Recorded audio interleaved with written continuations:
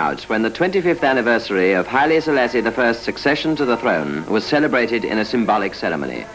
The Jubilee of the 225th ruler of Ethiopia does honor both to the man and his work. In it, two and a half decades of laborious progress reached their zenith in a festive occasion. In the morning, in brilliant sunshine, the Emperor and the Empress leave the palace.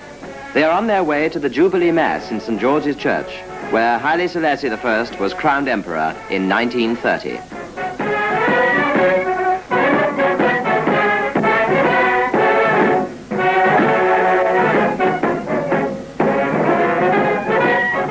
A motorized escort accompanies the procession through the triumphal arches that span the streets, which are lined by a dense crowd of thousands of people.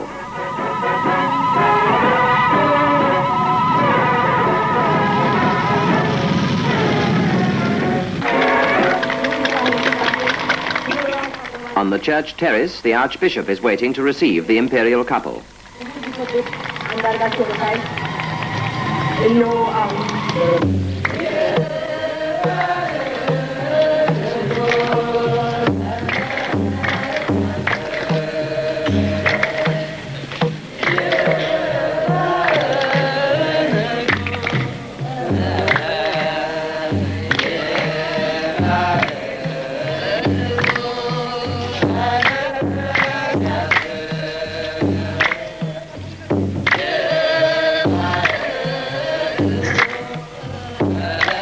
Three times, the Ligaba taps the ground with his staff, the signal to the guests that the Emperor and Empress are about to enter the church.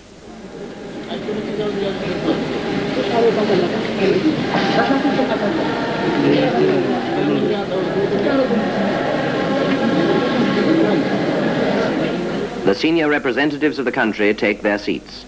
The twin thrones stand opposite the altar. The Mass begins. The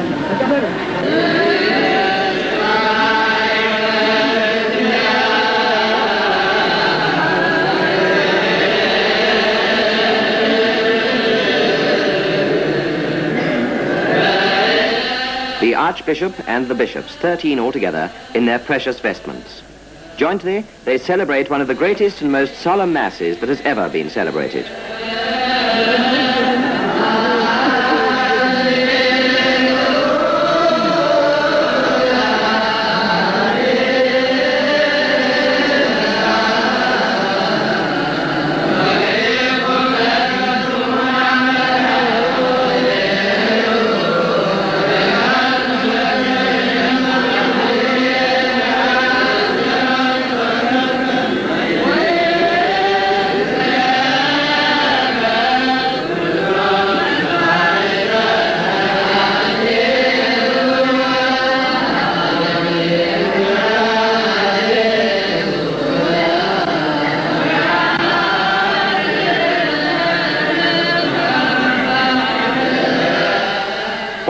Dignitaries of Ethiopia, foreign government representatives, and the diplomatic corps are present.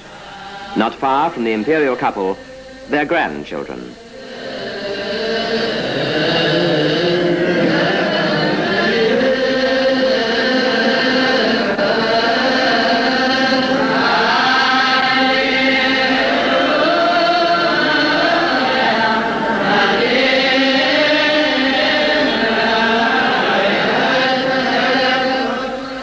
The end of the Orthodox ceremony, the Archbishop presents the Bible to the Emperor and the Empress, who, according to ancient custom, kiss the Holy Book.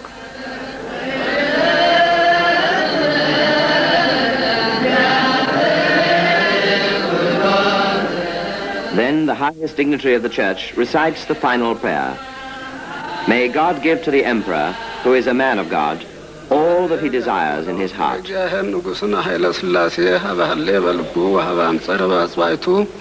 ጸሮ ጸላቱ ታሕተ ገድሁ ፍጡነ በኃይለ መስቀሉ ለእግዚእነ ኢየሱስ ክርስቶስ ግሩራነ ለይኩኑ። እግዚአብሔር ያቁርር ማቶ የፈኑ ሳህሎ ምሕረቶ ለምድር። እግዚአብሔር ያቁርር ማቶ የፈኑ ሳህሎ ምሕረቶ ለምድር። እግዚአብሔር ያቁርር ማቶ የፈኑ ሳህሎ ምሕረቶ ለምድር። ነግረክሙ ሀየ ከመ ታእምሩ ጸጋሁ ለመንፈስ ቅዱስ وافرى هل مثلي مثل كلكم إيه؟